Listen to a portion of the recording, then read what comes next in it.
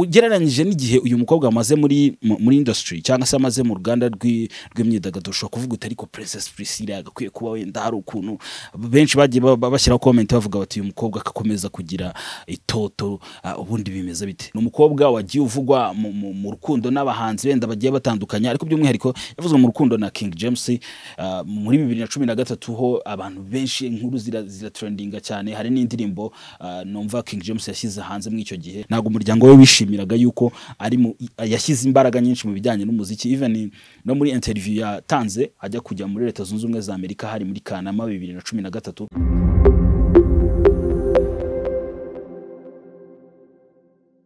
Ah, reka mbashimire abakunzi b'inyarwanda aho muherereye hose nitwa abitije seraferize amazina ku mbuga nkoranyambaga ni Jason Time turabana mu bihe bitandukanye. Uyu munsi rero ah, ndavuze ni reka ngaruke gatoya. Hari abantu nabonye ejo bundi babona indirimbo yasohotse ni indirimbo navuga ko iri kuri move ah, iri hejuru cyane ni indirimbo abantu bishimiye.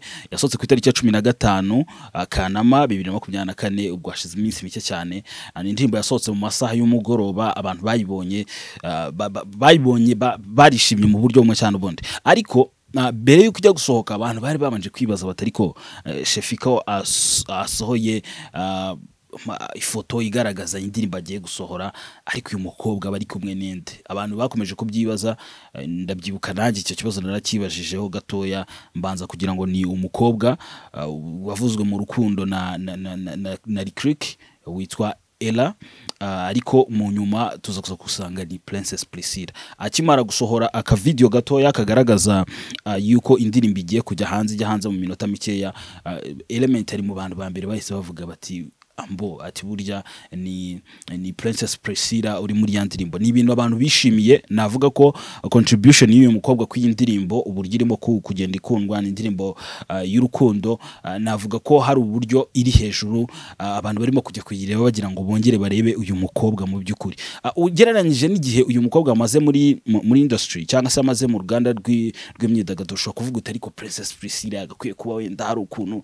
Benshi bagiye ba- ba- bashyiraho comment bavuga bati uyu mukobwa agakomeza kugira itoto ah, ubundi bimeze bite? Mu by'ukuri uretse kuba wenda aba bantu baba baratangiye umuziki bakawutangira bakiri batoya ariko si umukobwa ukuze cyane. Ntabwo ari umukobwa mukuru ntabwo wavuga ko akuze akuze mu- mu- muri industry ariko ntabwo aragera mu myaka umuntu yavuga ko ngo kabisa itoto ridakomeza gutemba mu buryo bumwe cyangwa ubundi so a- afite imyaka mirongo itatu n'umwe kuko muri bibiri na bibiri na cumi bibiri na cumi ajya uh, like asa n'umuntu utangiye gusa n'uwinjira mu muziki yavuze ko afite imyaka cumi n'irindwi.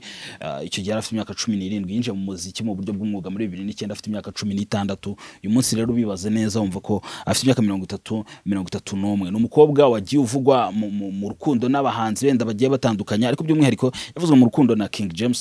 Uh, muri bibiri na cumi na gatatu ho abantu benshi inkuru zira, zira trendinga cyane. Hari n'indirimbo numva King James yashyize hanze muri icyo gihe abantu baravuga bati ya featurinzemo wa mukobwa n'ubundi ugize gute? Uh, like nyine bari, mu rukundo. So rero ushobora wenda kwibaza ukavuga uti ariko Princess Priscilla ubundi bimeze bite? Ibyo rero ni byo navugaga nti reka se nugarukaho gatoya hari abantu wenda muba mumubona mukaba mwumva indirimbo ziwe mukumva indirimbo nka na cyadutanya yakoranye na The Ben ukumva indirimbo yitwa tukabyine yakoranye na Rafiki ukumva wenda ushobora gusanga abantu bo muri iyi industry muri iyi minsi ushobora gusanga nka tukabyine abantu batayizi ariko abantu bo mu bihe byanjye bakurikiranye imiziki muri iyo myaka barayizi indirimbo yitwa tukabyine ushobora kumva indirimbo nka bagupfusha ubusa ndumva na yo afitemo contribution muri chorus yayo indirimbo nka nka Paradiso yakoranye na Meddy Ah, ni umukobwa wagutse. Ah, indirimbo yose especially umuntu yavuga ko ni queen mu muziki ariko noneho hakaba queen of collabo. Uh, nk'uyu munsi dushobora kuvuga ngo king of collabo ugasanga ni fireman. Uh, buriya indirimbo yose ya- yabaye nk'ujyamo hari uburyo ihita izamuka mu buryo bwihuse. Nawe rero ni queen of collabo mu buryo bumwe cyangwa ubundi uretse ko anafite n'indirimbo ziwe n'ubundi na zo yagiye akora kandi zigakora ku mutima abantu. Nk'indirimbo yatumye amenyekana yitwa mbabarira muri bibiri n'icyenda. Ni umukobwa rero nk'uko twabivuze ah, ni umukobwa inganzo yiwe. Yazamutse yiga mu mashuri y'incuke. Ubwo ni garidiyeni cyangwa se nasari sikuru abantu bari gukoresha icyongereza muri iyi minsi yari afite imyaka itatu icyo gihe rero atangira kwiga ibintu bijyanye no kuririmba. Ah, birangira azamutseho gatoya aravuga ati noneho ah, yinjira mu bijyanye no gukora noneho no kuririmba muri bya bindi bita school. ah, kwa kundi abantu bajya kuririmba habaye wenda eh, ku rusengero. Igihe rero kiragera noneho yinjira mu muziki. Ah, yinjiranye mu muziki navuga imbaraga nyinshi abantu bamwakira neza. Ah, hari inkuru yanditswe muri iyo myaka nahoze nabaye nkunyuzamo amaso yitwa ah, ah, bavuga bati icyo gihe kandi koko ni nako byari bimeze.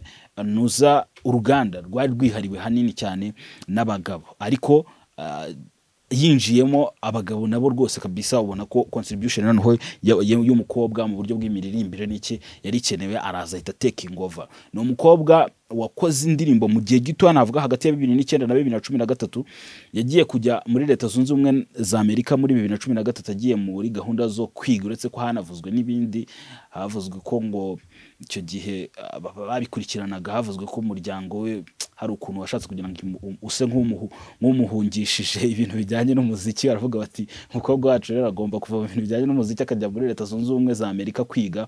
Ariko mu by'ukuri ntabwo umuntu yavuga ko kuko nta makuru wenda yasaga nk'ari gucuraninga mu buryo bumwe cyangwa ubundi bavuga bati ntabwo umuryango we wishimiraga yuko ari yashyize imbaraga nyinshi mu bijyanye n'umuziki. Even no muri interview yatanze ajya kujya muri leta zunze ubumwe za amerika hari muri kanama bibiri na cumi na gatatu icyo gihe yaravuze ati ngiye muri leta zunze ubumwe za amerika atari ko focus cyangwa se ikinjyanyeyo intego nyamukuru ni ibi- ni ibirebana no kwiga n'amasomo. Ah, gusa agezeyo yagiye asanga noneho ahubwo monde y'umuziki nyawo eh, isa nkaho yimukiye muri leta zunze ubumwe za amerika. Kuko ni ahantu yageze akurikiye abantu barimo nka medioro yaragiye muri bibiri na cumi ah, baba de ben harimo kate kavuyo hari hariyo cedru bamwe mu bantu navuga ko ibintu bijyanye no gutunganya amashusho y'indirimbo nawe ari imbere ho gakeya. Noneho hakanaza na na na Lick nawe umuntu yavuga ko yari afite ukuboko kuremereye mu bijyanye na industry. Nicyo gihe press one yari irimo izamuka yagezeyo atanga contribution iri hejuru cyane mu muziki wari uri gukorerwa muri diaspora ariko by'umwihariko ukajya unabakinga ukagaruka hehe ukagaruka mu rugo. Rero hari abantu ah, ba- bagiye bamubona ugasanga umuntu arimo aribaza ese ubundi ah, princess priscilla ah, bimeze gute uyu munsi? Umuziki arawukora arawukora arawukora ariko navuga ko iyi ndirimbo yagaragayemo yongeye gutuma abantu bongera kwibaza bati ariko uh, ubundi princess priscilla bimeze bite? Ubwo ngubwo urumva ko hari nk'abantu baba batarigeze wenda bakurikirana ibintu neza ngo bakurikirane bamenye uyu mukobwa uh, bimeze bite? Ariko by'umwihariko abantu bagaruka bakomeza kugaruka ku kantu k'uburanga buranga buranga bwa princess priscilla utajya ugira gute? Utajya uhinduka utajya usaza mu buryo bumwe cyangwa n'ubundi. So rero navuga ko ari ibyo ngibyo wenda dushobora kuba twasa nkaho tuba tugarutseho gatoya uh, kuri princess priscilla umuntu ashobora kuba yavuga ati abantu benshi mu rwanda kabisa stage yiwe aramutse avuze ati ngaruke mu rwanda gatoya ngira wenda igitaramo nshobora kuba nahakorera abantu babyishimira ari nako kandi umuntu akomeza kubabwira ati mukomeze mushyigikire shefi. Ah, shefi ni umuhanzi navuga ko nawe amaze kugira izina. Munsi hari indirimbo nyinshi yagiye ashyira hanze abantu bagiye bishimira. Ah, ndumva hari na nuza na ah, ni indirimbo ya kamariza aheruka gusubiramo. Abantu barabyishimiye baravuga bati iri jwi ni ijwi ridasanzwe. Ariko noneho bigeze ku ndirimbo ah, yashyize hanze aheruka gushyira hanze yitwa bana yakoranye na Chris ibi bibindi ni indirimbo uyu munsi kuri YouTube iri mu ndirimbo nkeya. Z'abanyarwanda zabashije kurenza ah, abantu babashije kureba inshuro zirenga miliyoni icumi. Mu gihe cy'amezi make cyane igiye hanze uyu munsi imaze kurebwa na miliyoni zirenga icumi kuri YouTube. Ni indirimbo wajya ku ma music platform aho bas- bastreamingira imiziki cyangwa se aho ushobora kuba wakumvira imiziki ugasanga ifite ibihumbi byinshi by'abantu bay- ba- bayumvise. Ni indirimbo navuga ko yamwubakiye kariyeri ituma abantu mu buryo bundi. Uyu munsi rero indirimbo yashyize hanze ni indirimbo yitwa Bailando yayikoreye mu Rwanda. Yamaze kuyikorera mu Rwanda yakozwe na Element ageze hanze ngayumvishaho gakeya Princess Priscilla arayikunda.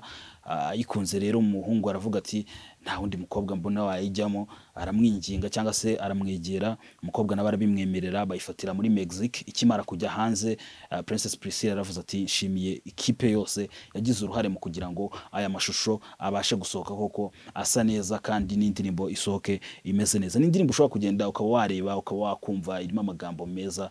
Wanayitura n'umukunzi niba umufite. Waba utanamufite ukayitura n'umubyeyi kuko burya urukundo ukunda umukunzi wawe wanarukunda n'umubyeyi wawe.